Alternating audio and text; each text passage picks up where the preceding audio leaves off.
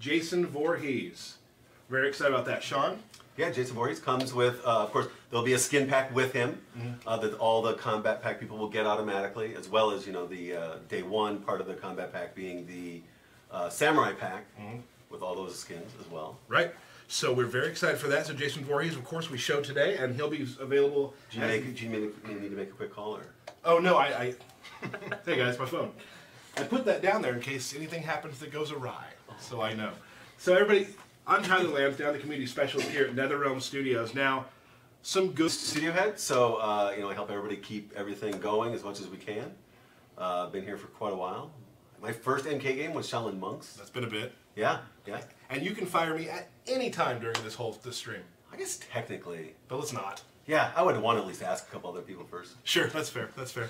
Uh, we also have some uh, special guests. I just dropped my, my Coke here, sorry. Uh, my, my, my caffeinated beverage. My bad. We have two guests today. We got Mr. Brian Chard over here Hello.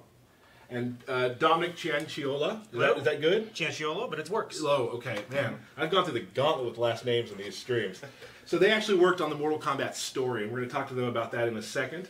But before we get started, as we always say, this build is uh, is not our most current build, so there are some things on this build that could change before release. And release is a little over a month away, so we hope you're excited about that. Um, also, if you look down below, you'll see that you can follow us on Twitch. So please take a moment right now to follow us on Twitch. All right. That's enough time, I think, right? Yeah. Good. So we should just get started and get right into it. This, uh, the title today is "A Story 25 Years in the Making," which talks about how this story is 25 years after the last one. But before we get to that, Dom, you want to tell everyone who you are and what you do around here? Sure.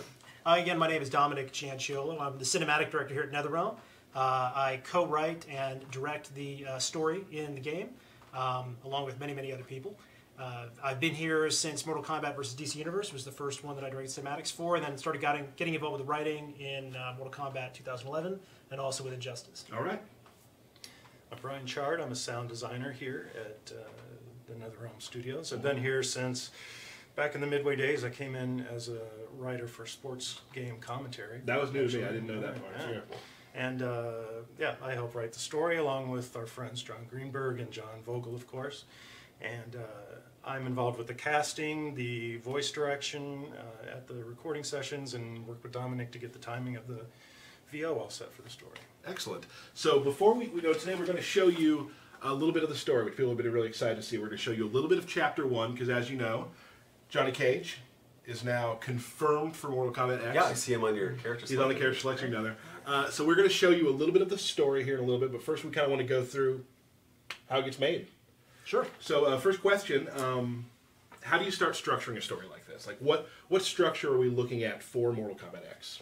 Uh, well, the structure for the Mortal Kombat X story was inspired a lot by the second of the two Godfather films, in that we have sort of the main story, which is telling uh, our, our primary adventure of dealing with Outworld and the civil war with Mileena and Kotal Khan, and also the threat that then face everyone faces. But at the same time, then taking spots uh, within the story itself to do flashbacks to wrap up how the last story ended, what transpired based on the cliffhanger we left there, and then also allow us to get into the history of the new character we've added, and also find out how some of our older characters that are returning, what happened to them before we get to the main body of the story. So like again, so someone can sit down with this without really knowing the lore and, and really get a good starting point point here. I would think so. We took great pains to try to make everything as clear as possible with the new characters and also what happened to the characters that were there before, Gotcha. so that uh, somebody can jump in fresh and not have to worry about getting lost. What now? What excited you about having all these offspring characters? Some of them we haven't talked about yet, but then somebody like Cassie Cage. What what's the exciting part about being able to write something like that?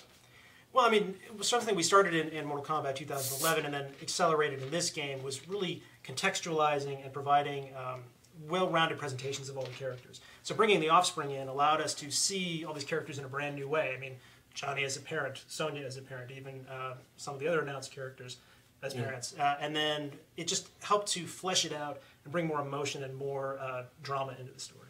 Right. It's interesting you had mentioned too about how what it's like giving Johnny a daughter. Yeah, I mean, certainly it's a very different situation with him as a son. You kind of you wouldn't necessarily see the same kind of growth with Johnny sort of having this uh, womanizing past. Now that he has a daughter to deal with, how does that change him as a person and perhaps mellow him out? Right, and you, uh, uh, Brian, you have a lot, and we get a lot of great responses. You have a lot to do with the, the writing and putting together of all of the, the, the things they say to each other on walkout during the beginning of the match. Yes, yes. What were some of the fun things about that? Like, Well, it's uh, you know I, I enjoy writing for Johnny and for uh, Cassie because they're both smart Alex and, Right. and it's fun to see what comes out of their mouth. But uh, you know you you look at certain relationships and you go, what could these two possibly have to say to each other? But uh, you know during the process, I've discovered and you know everybody that helped write, there were a lot of us. Uh, we discovered that actually there are really cool, fun exchanges that you can have with two characters who might, on the surface, have nothing in common. So, uh, so you were was a lot able you were able to do lore based ones, some that aren't based on lore, just Yeah. some fun stuff. Yeah, there's some that's uh, complete jokes. There are some that are canon. There are some that aren't canon. There are some that might turn out to be canon. So, yeah, some some mentions of characters who are otherwise not in the game. All kinds of fun stuff. So, And uh, we've noticed that too, that there there will be a lot of characters throughout the entire expanse of all of the world of Mortal Kombat. Yes. Will maybe show up at times you don't expect them to. They might. So could happen. Yeah. Uh, one of the funny stories you guys told me about um, was when you guys have, like you know, you have a writing team, and sometimes maybe not everyone's on board with the same idea. it's hard to believe that yeah. Right, happens. Yeah.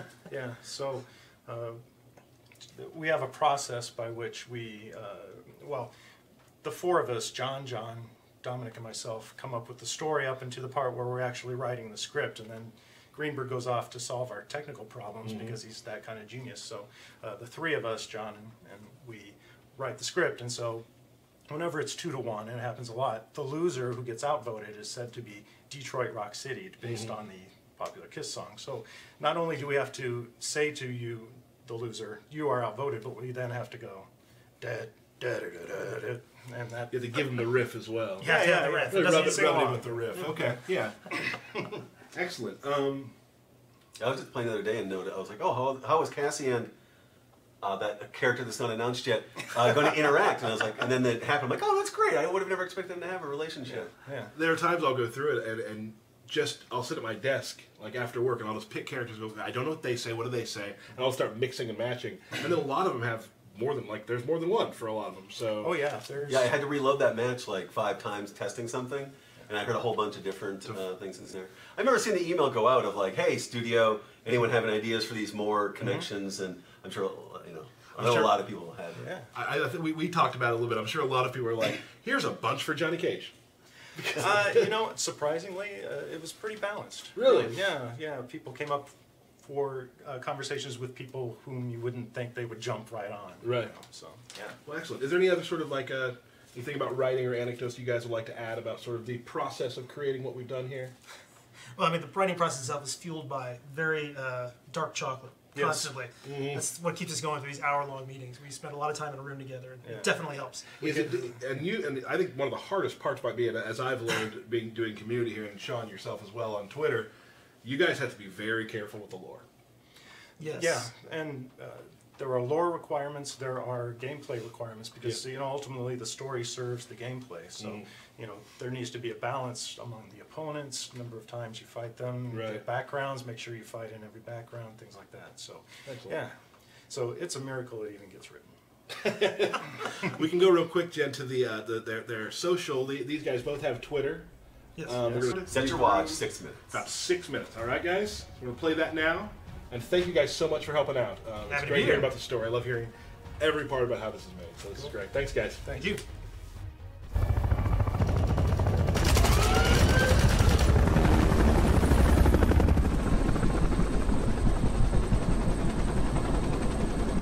Destination, dead ahead. Set her down nice and easy for me. Don't I always? If by always you mean not once. Major?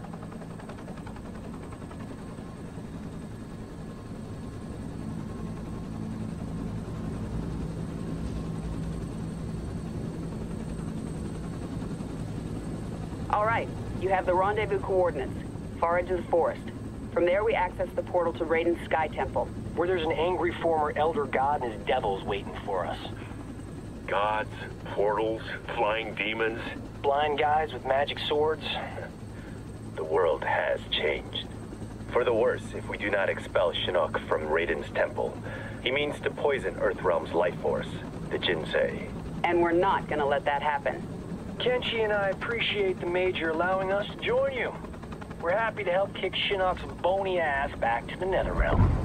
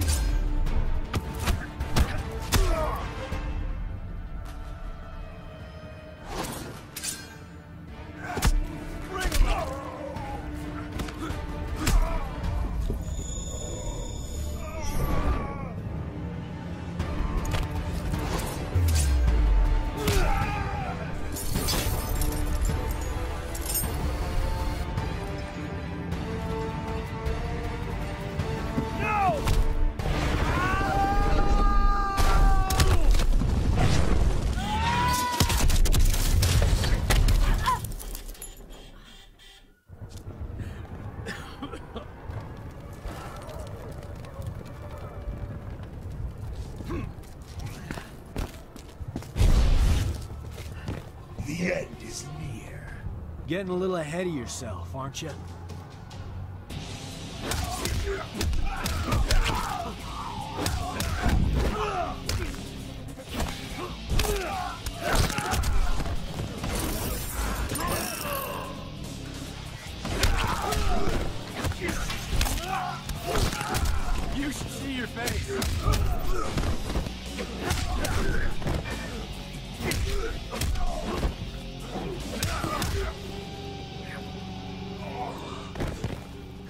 Hope someone got a shot of that.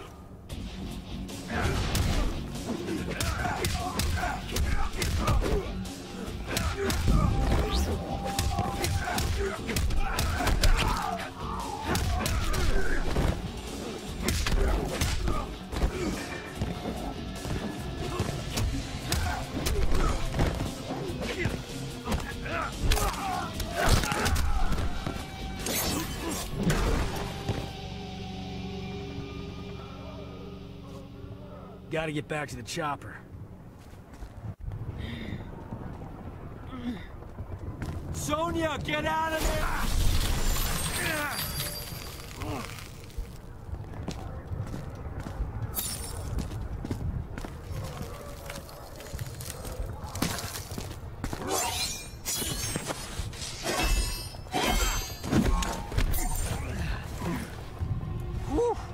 That was unpleasantly cold.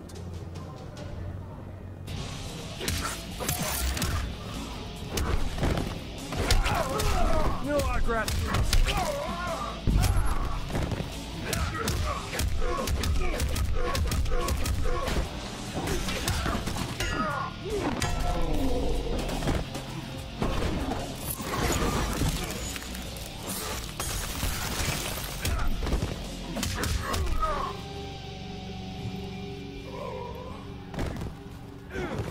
should warn mittens.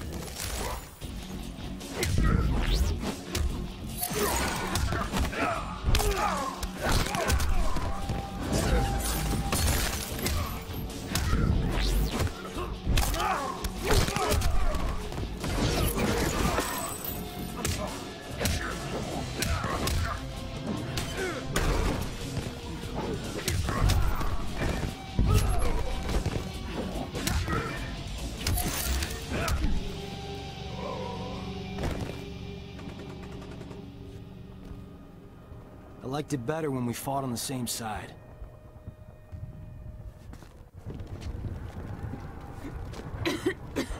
You okay? We fared better than the men. Add him to the list of things Shinnok will answer for.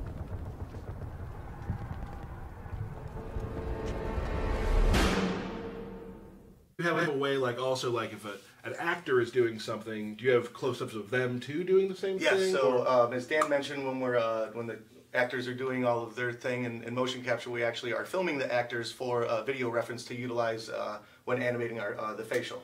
That's awesome. Yeah, great. Um, I think. Oh, this is a good question. We kind of talked about to Dom and Brian about this as well. Uh, having the children of popular characters are now in the game.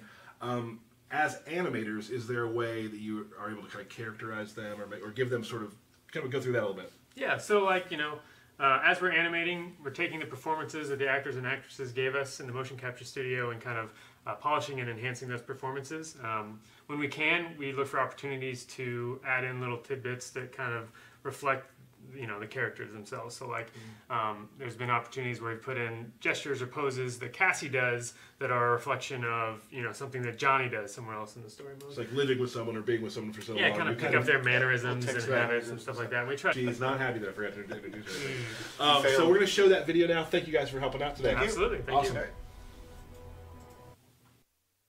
Hey, awesome. Head ahead. Set her down nice and easy for me. Don't I always? If by always you mean not once. Major?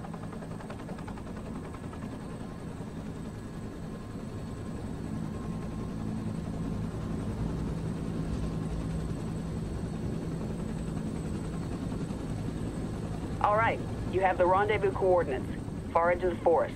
From there, we access the portal to Raiden's Sky Temple. Where there's an angry former elder god and his devils waiting for us. Gods, portals, flying demons. Blind guys with magic swords. The world has changed. For the worse if we do not expel Shinnok from Raiden's temple. He means to poison Earthrealm's life force, the Jinsei. And we're not gonna let that happen.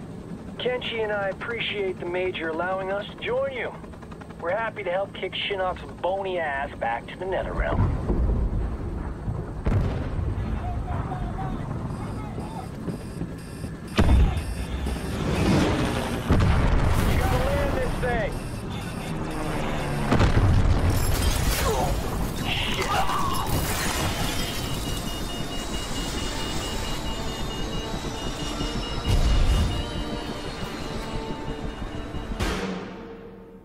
There's some good ones. There are some good ones. He has one in particular that's pretty damn good. So I'm going to. Uh, I'll pick Kano because I think there's some. Uh, Yeah, I'm a little partial to him. So we can like the uh, fisticuffs variation here. let's, let's do it in the. Uh, let's go to the market Why are those others grayed out? because we haven't shown them yet. Although you may have seen touches of them in Yeah, some of our trailers. Some of the trailers, yeah. So we're gonna do the intro and we will not talk over it. What do you eyeing me for? So there's ice cream in Outworld, Chubby? That's your last go at me. Round one. It's probably an issue because you don't hear it anymore. There we go. That, That's that's one true. of the- So you don't know that you're talking They don't realize that I can't hear anything. So you're not stupid. It's just not here. Well, uh, so one thing you will first of all notice, like every variation, fisticuffs, there is a visual indicator to tell you which one you're using. Besides, up in the corner, he's wearing those. Yep, he's got the uh, brass knuckle bling on there. the cage See rings. Both of his uh, hands there. So let's kind of get started and talk about uh, what stuff, what kind of moves are always with Johnny Cage. Okay, um, so everyone should be familiar with his uh, pretty traditional moves. He's got the uh, fireball version. Uh, he's got the tried and true uh, shadow kick there. Um, he's got the classic punch there. EX with a punch. Results in pop up. Yep, you get a pop up off the EX. Um, and then he's got, uh, currently in this trade, he has uh, this flip kick, or a variation, I should say, he has another one more with it as well. Um, he also has, you want to do the, uh, the red? Yeah, yeah. One of the pretty unique things and very uh, damaging things in this variation is that when Johnny Cage turns uh, to danger mode, low health, he uh, he gets all of his red specials, kind of the old glitch, not you get the random red shot kick, which actually protecting the game, where it's almost kind of like a uh, mean Easter egg. yes, an Easter egg, an Easter egg that yes, that's true. So. Um, so yeah, so as he has this, he will get a new throw. Punch me one more time. Yeah. Oh. So he has a new throw here. So we'll go ahead and give you down red again. So as he's red, he gets more more health, more damage, or not more uh, health, more damage on all of his uh, moves. Go ahead and along his part. Well, show, show real quick the uh, the stuff he kind of gets with fisticuffs. Okay, so in his uh, this variation, he has this buff. Cracks his knuckles together there, and you can see he's got the uh, blink coming off his knuckles. While he has this, he does a uh, chip damage uh, increase. So if you want to block there, you'll see here's the before. So it's the average. Block that one. So you can see it's very minor. Right. Um, and now when you activate this, it's pretty considerable there. So Yeah, so this this this Johnny Cage is a really good Johnny Cage to. Uh, this will favor the rush down, the aggressor, someone who likes to on top of the opponent and not uh, giving because we know that from the old, you know, Johnny Cage of MK9, you know, getting in there in the corner doing some chip damage is really like where he shines. especially um, especially with the uh, the run mechanic. It's going to allow a lot more combo, especially if you able to run and get on the guy. This example like this, see if I can, you can charge that up. I can you know, after you knock down the guy, you can go right into the uh, right into the power up. Um, you want to get me down? I'll show you. Speak up a little bit for the guys there, Mike. Sure. No problem. Um, do a couple more. Okay. So right here, he should. There we go. All of these. Uh, you notice the damage there? Pretty chunky. I'll go to block so you know. Right. But um, yeah, I'll move there. Uh, R R two, right? The EX uh, shadow kick here. Full screen. It's hard to see that there, but you'll it hits full screen. And he also has a new string as well, uh, Yes. which is really this is the, the coup de grace. This will kill you, but we'll um, we'll show you right. We'll kill you with it. So I'll do it uh, with it here. If you hold um, away and you do this, he kind of does a little flurry punch. Normally, you know, it's pretty devastating, but when you have this buff, it goes into super chip mode, and then you can see. Yep, I'm down in danger there. Yep. In the corner, that is just. Yeah, you can do a lot of crazy, you know, classic MK juggle combos in the corner, but that stuff we never put off fun. So that's really good. Yeah, throwing the autograph down as usual. So that's a really good thing for guys who really like getting in there, rushing in, doing their damage, turning on chip, and You followed me. You need me here. Has anyone ever agreed with that statement? Round one. Mhm, yep, He's wearing, wearing the shades. Uh, this is called stunt double, and there's just there's one major reason it's called that. Yeah, and this one he does lose the flip kick, but he does gain this. He's got his little tr- trusty uh, stunt double there, which gives him two charges of his special moves, physical uh, physical special moves. So he's got one shadow kick that he can shoot, or I can shoot my other one. I'm also able to follow them up. So say I were to shoot this out here, I can kind of chase after it. You know. Um, let me get some. Let me get rid of so I get. So like an example, pretty much after any kind of string, you might want to, you know, power yourself up right there, and you can do some pretty cool stuff. The guy up, you know, charging, a little run combo like that. really cool. Keep yourself safe. I can't believe you hit that first try. Me too. I That's practiced really that for like an hour. I was like, oh, went autopilot right there. Good times. Um, let's see. So he's got also his fireball. In this version, um, it stays straight. You don't want, you don't get the uh, amount, but you So in this one, you still get the, the double. Just, exactly like that. So the mimic does allow for a lot of Yeah, and this one's great a too because. I know, like when when I play Cage, I'm always I always try to do wake up uh, shadow kick all the time, and you know you're gonna get punished that way. But here, your shadow kick will you can do it from mid screen. Yeah, yeah. That's one of the things too. Like it's kind of um, you see a lot of projectile in characters, a single projectile, a single hitting move, and they throw it out. Um, I don't mind beating you at all. we're playing some matches with you guys the other day. I haven't really put too much serious time in uh, cage started learning all the. But after these few days, I realized he's got a lot of cool, a lot of cool characters. Right. But like, so you want to do like a fireball or something? Let's see. Well, I wasted. But basically, like, if Right. you were to zone someone out, he has a pretty much an instant, like, you know, get right next to me kind of move. Mm-hmm. Uh, you know, full EX uh, speed. Um. But yeah, the mimic adds a lot of great combos, a lot of joke stuff. I mean, obviously, the kid corner stuff is pretty, pretty. Uh, I'd frame that. So that, that Johnny, this Johnny has a very good way of kind of he can stay mid screen, but he also has some stuff to get in quickly. Yep. Using the mimic, all the mimics. You get a lot. Nice to see ya. Must everything be a joke? Yeah, it does. Round one. Fight. We also have no idea what they just said. I don't know what they said. I'll have to look at it later when we watch the stream. This is A-list Johnny Cage. Now, what, what can A-list do? Um, this is kind of a technical little trickster, kind of fake out maneuver um, variation. He can he still has the flip kick here, but most of the specials he can now charge and kind of dash cancel in and out of. So if I just do the regular flip kick, uh, I don't combo, but if I do the regular flip kick, you can't really juggle it. But if I get any kind of um, held version of it, it's easier to give me any kind of juggle. If I hold the full version, you get pretty big combo. You know, you can do any kind of stuff after that. Right. Um, same thing, his uh, away two, his other trade just, or other variations, it just knocks the guy straight away, but in this one you're also able to charge. Charging his back punch, too. Yeah, and as well as being able to dash in and out, so you can kind of big wake ups and whatnot. So if I just And also, like even his, his shadow kick in, in Fluid also is able to. Well, shadow kick as well, I can hold that down. There's a lot of just tricky variations with this to keep going in and going for a throw, or actually throw the move out there. For sure. Um, the one big thing in this one that's going to create a lot of uh, unsafe situations, make him safe if you got meter, is in this one his nut punch, um, it can be meter burn on reaction, like hit confirm. So normally in the other versions, if you EX the nut punch, you're pretty much committed to it, and if they block, you have to eat the recovery and potentially a big combo. But in this one, I see a hit, oh, I can meter burn at any time, and um, go right into big damage. So you can kind of throw it out willy-nilly as long as you have a meter, your opponent can pretty much respect, you know, that you can't do this round. That was like a sick nut punch, dude. Nice job on that. Thank you. Is that a thing? Him hitting Six- me six, six times. You might get rewarded for doing a, Who a lot of knows? nut punches. You might. There might be something for that.